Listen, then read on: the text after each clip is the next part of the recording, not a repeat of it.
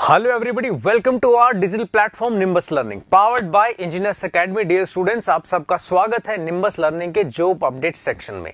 जैसा कि आप मेरे पीछे स्क्रीन पे देख रहे हैं, जैसा कि आपने टाइटल में पढ़ लिया है, आज का जॉब अपडेट होने वाला है Uttarakhand subordinate service selection commission की तरफ़ से। देखते हैं यूके ट्रिपल एससी में क्या वैकेंसीज निकली है, कौन ब्रांच एलिजिबल है एज लिमिट कितना सैलरी मिलेगा, सारी की सारी चीज़ें हम वन बाय वन यहाँ पे डिस्कस करने वाले हैं। करना क्या है? आपको वीडियो में बने रहना है। चलिए सो so, यहाँ पे यूके ट्रिपल ट्रिपल एस में दोस्तों जूनियर इंजीनियर ट्रेनी और जूनियर इंजीनियर के पद पे कुछ वैकेंसीज हैं। शुरुआत करते हैं कौन कौन सी ब्रांच एलिजिबल है कौन कौन इसको अप्लाई कर सकता है। तो सबसे पहली जो पोस्ट है junior engineer trainee civil engineering में डिपार्टमेंट है आपका यूजेवीएन लिमिटेड में। इसमें अगर टोटल नंबर ऑफ़ वैकेंसीज की बात की जाए तो यहाँ पे 25 वैकेंसीज है। आपका एजुकेशन क्वालिफिकेशन डिप्लोमा होना चाहिए इन द सिविल इंजीनियरिंग दूसरी पोस्ट लेते हैं, दूसरी पोस्ट है junior engineer training civil department है, power transmission. Total post five है। इसमें भी आपका डिप्लोमा होना चाहिए in the civil engineering. Third post की बात करें तो junior engineer not training it's junior engineer post in the department of renewable energy development agency अगर नंबर ऑफ़ पोस्ट की बात करें तो यहाँ पे टेन नंबर ऑफ़ पोस्ट है।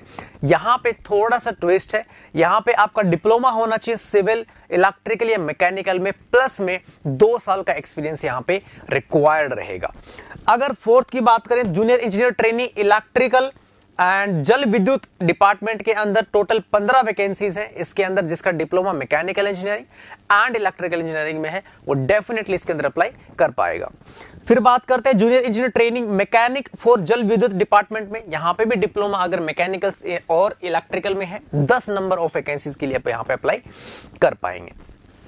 लास्ट है आपका जूनियर इंजीनियर कौन से डिपार्टमेंट में? Uttarakhand environment production and pollution control के अंदर। टोटल वैकेंसीज दोस्तों यहाँ पे 11 है। अगर आपका डिप्लोमा है civil engineering chemical engineering environment engineering तो डेफिनेटली आप इसके अंदर अप्लाई कर पाएँगे। अगर एज लिमिट की बात करें तो सिर्फ़ जो आपका पोल्यूशन कंट्रोल बोर्ड है, इसके अंदर मिनिमम एज 21 टू 42 है। बाकी हर एक पोस्ट में 18 18 is the minimum age 18 to 42 years का यहाँ पे एज गैप है आपके पास में।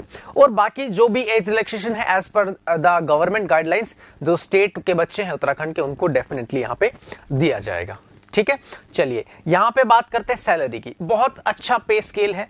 चौवालीस हज़ार नौ सौ से forty four thousand nine hundred से लेके एक लाख बयालीस हज़ार चार सौ one lakh forty two thousand four hundred rupees के लेवल सेवन पे मैट्रिक्स से आपको यहाँ पे सैलरी दी जाएगी, जो कि आपका बहुत ही अच्छा खासा पैकेज बनने वाला है। चलिए अगर एप्लीकेशन की फ़ीस की बात की जाए तो उत्तराखंड ने यहाँ पे, उत्तराखंड गवर्नमेंट ने कोई भी फ़ीस आपके लिए नहीं रखी है, जो कि आपको एक बहुत ही बेहतरीन बात है, चाहे वो जनरल है या कोई रिज़र्व कैटेगरी है।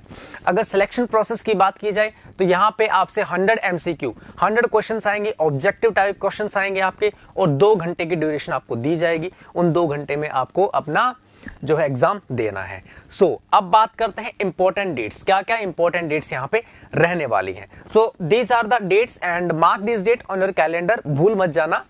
स्टार्टिंग की अगर बात करूँ तो मैं 15 दिसंबर को ये फॉर्म शुरू होने वाला है। और लास्ट डेट की अगर बात करी जाए तो जनवरी 28, 20 और 2022 ठीक है? 2022 28 जनवरी 2022 को इसकी लास्ट डेट है। यहाँ पे टेंटेटिव मंथ भी दिया गया है एग्जामिनेशन का।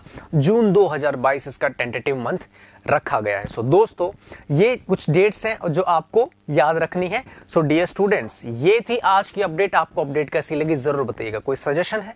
कोई क्वेरी है तो कमेंट सेक्शन में लिखिए। सो so, चलिए अगली वीडियो का कीजिए इंतज़ार। तब तक के लिए नमस्कार। If you really like the video, please hit the like button, share the video, subscribe to our YouTube channel and press the bell icon for the latest updates. Thank you.